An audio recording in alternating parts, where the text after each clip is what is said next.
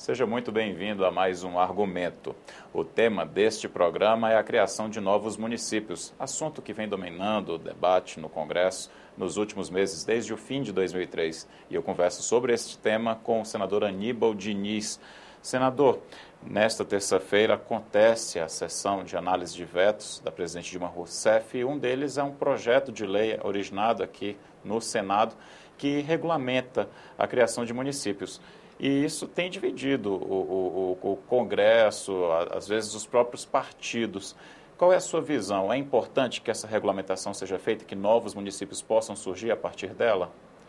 Olha, é, em primeiro lugar, eu quero dizer que fiquei surpreso com o veto da presidenta Dilma a esse projeto do senador Mozarildo, porque na realidade a gente tinha um entendimento da equipe econômica e de planejamento é, do governo federal de que era um projeto bom, porque as regras ali contidas eram regras razoáveis para a criação de novos municípios. Primeiro, a realização de plebiscito, segundo, é, a realização de estudo socioeconômico para apresentar e comprovar a viabilidade da funcionalidade do município e terceiro, aprovação pela Assembleia Legislativa do respectivo Estado.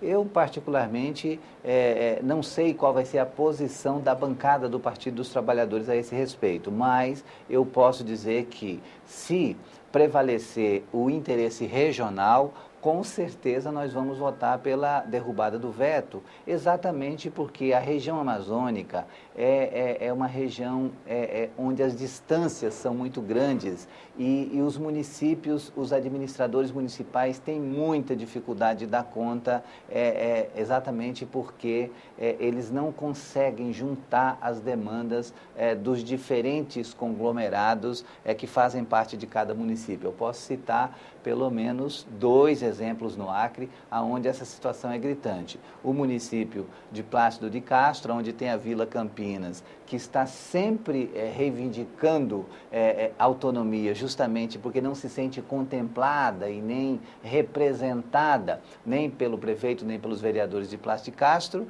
e o município de é, Porto Acre, aonde são quatro vilas diferentes, todas elas com tamanho mais ou menos igual ao é, é, tamanho do núcleo central do município é, o resultado disso tudo é que prefeito nenhum dá conta de resolver esses problemas. É, o que, que a gente pode dizer diante de uma situação como essa? Que a criação de novos municípios vai gerar novas despesas com a estrutura é, político-administrativa de cada município. É, essa é uma preocupação do governo, que, que geraria muitos gastos com o surgimento de toda essa infraestrutura. Exatamente. Então, nós temos aí é, é, que fazer uma análise de prós e contras. Por exemplo, a criação dos novos municípios certamente vai significar novos custos para o Estado brasileiro, porque teremos câmaras de vereadores, prefeituras, estrutura administrativa e tudo mais. No entanto, a não criação desses municípios significa condenar a população dessas localidades que reivindicam a condição de município a ficar no eterno ostracismo. E a gente tem que se solidarizar com essas é, é, famílias que moram nessas localidades, porque elas querem a presença do Estado, elas querem a presença das políticas públicas e elas ficam praticamente impossibilitadas de cobrar, uma vez é, que uh, o prefeito fica em localidades distantes é, e acabam que não está vivendo ali o dia a dia é, como seria se tivesse a própria prefeitura.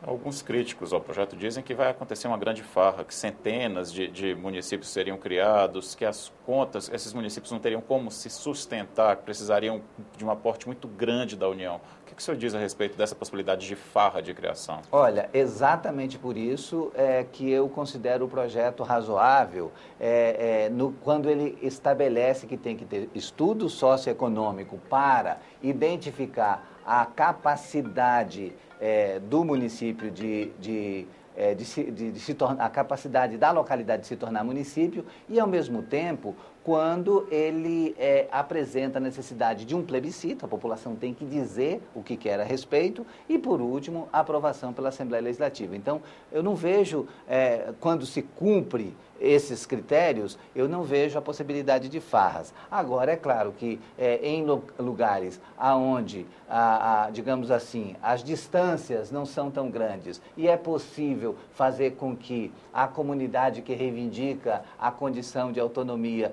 política, ela pode ser atendida pela prefeitura é, é, a qual pertence, é, eu diria que nesses casos tem que se ter, sim, critérios no sentido de não permitir nenhuma farra, nenhuma é, é, é, facilidade graciosa. O autor do projeto, senador Mozaria do Cavalcante, ele disse que acredita que existe um, um, certo preconceito, porque é um projeto que beneficia muito mais a, a região norte e a região centro-oeste, é onde essa situação é comum, alguns estados do Nordeste também, e que o projeto resolveria distorções históricas. O senhor tem essa mesma visão? Tenho, eu tenho essa visão porque eu sou de um estado muito parecido com o estado do senador Mozarildo. O senador Mozarildo é do estado de Roraima e eu sou do estado do Acre, na região amazônica. Nós, no estado do Acre, nós tínhamos, até bem pouco tempo, apenas 12 municípios. Conseguimos, depois de uma grande luta, é, elevar esse número para 20, 22 municípios. Foram criados outros 10 municípios.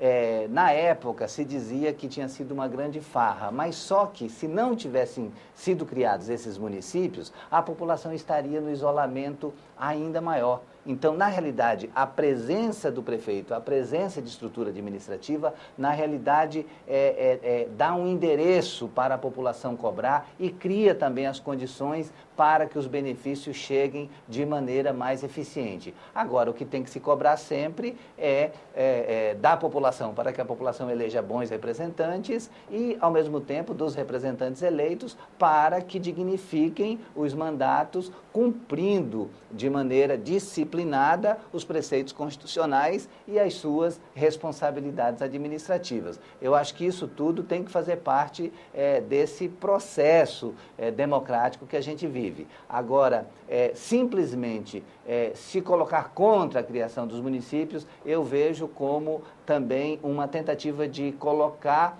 é, ou condenar ao ostracismo é, populações que merecem é, um tratamento diferenciado e que têm todo o direito de reivindicar um, um endereço mais próximo para fazer as cobranças no que diz respeito às políticas públicas. Senador, a base do governo é grande no Congresso. E isso, em teoria, significaria que o veto seria mantido. O senhor tem essa expectativa de derrubada desse veto? Como é que o senhor vê esse momento? Olha, a base do governo no Congresso é grande, mas também a, a base do governo tem a sua base nas suas regiões. E eu tenho certeza que as regiões estão cobrando de todos os seus representantes uma posição. Eu posso dizer pelo estado do Acre.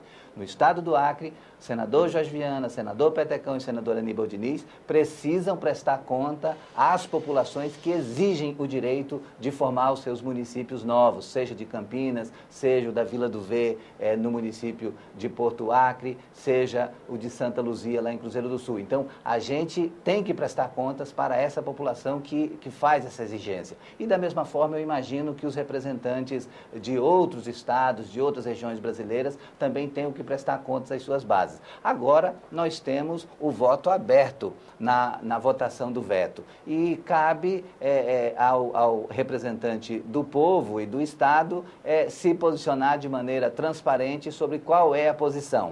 A presidenta Dilma vetou a matéria de maneira corajosa, enfrentando esses anseios é, das populações que querem os novos municípios. Vamos ver a posição dos parlamentares. Eu diria que a, a tendência é que a própria base do governo vai ficar dividida, porque os interesses regionais vão falar mais fortes nessa questão. Muito obrigado pela entrevista, senador Aníbal Diniz. Obrigado. E você pode apresentar sugestões de temas para o argumento pelo telefone 0800 61 2211 e também no site da TV Senado na internet www.senado.leg.br/tv. É só clicar em argumento também caso você queira rever algum programa. Obrigado pela sua companhia e até o próximo argumento.